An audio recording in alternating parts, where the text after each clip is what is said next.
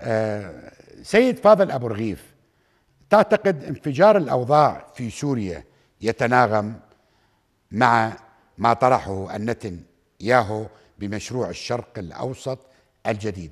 المقدمات ستكون من هنا ولديها انعكاسات أخرى على المنطقة وبضمنها العراق.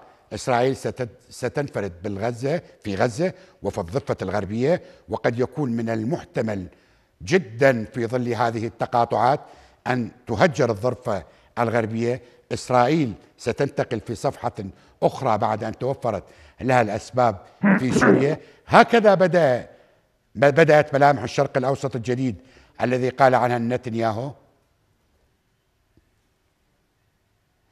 يعني أستاذ نجم اليوم هناك ربط وربط عسكري قد يكون هذه المرة ليس ربطا سياسيا. اليوم الإرهابيون قبل حوالي ساعات من الآن هم على مشارف حماة. بمعنى يعني هناك بلدتي آه، الصواعق والمزارب.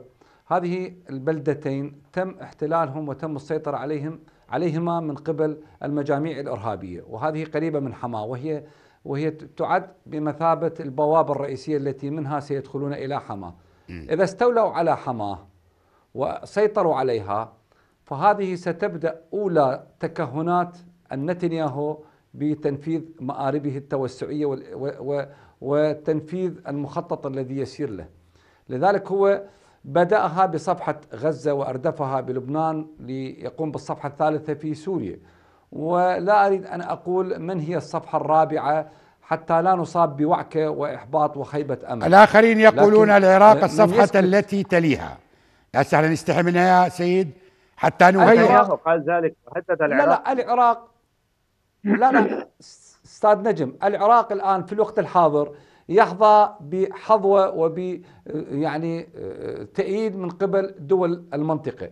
اليوم هناك علاقات متينة ورصينة بين العراق وبين المملكة العربية السعودية وتم يعني تنمية هذه العلاقات بصورة آصرية عالية جدا.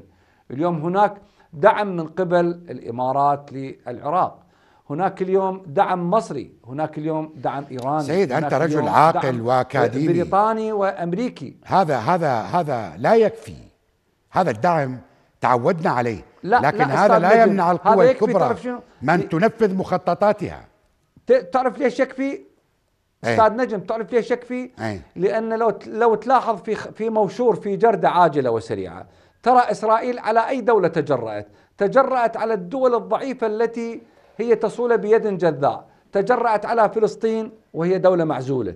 تجرأت على جنوب لبنان لأنها ليست يعني ليست دول تماس معها زودتها ودعمتها بأسلحة مباشرة. تجرأت على سوريا لأن الإرهاب والحروب قد مزقتها. لذلك هي لن تتجرأ على دولة رصينة متماسكة ذات سيادة. لا كيف تريد أن تتجرأ على إيران؟ ورغم الظروف.